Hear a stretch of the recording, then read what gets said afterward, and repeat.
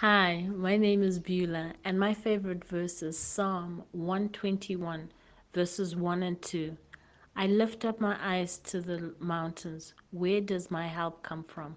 My help comes from the Lord, the maker of heaven and earth. I once heard a story of a young mother who had no food in the house to feed her and her family. She went down on her knees and prayed, Lord, please provide.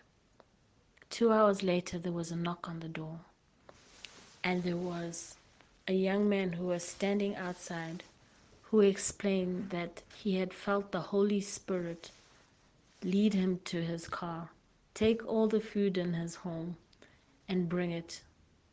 And he was guided to drive to the remotest part of the village.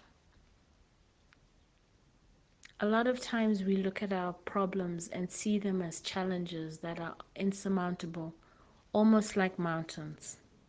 But where does our help come from? Our help comes from the Lord, the maker of heaven and earth.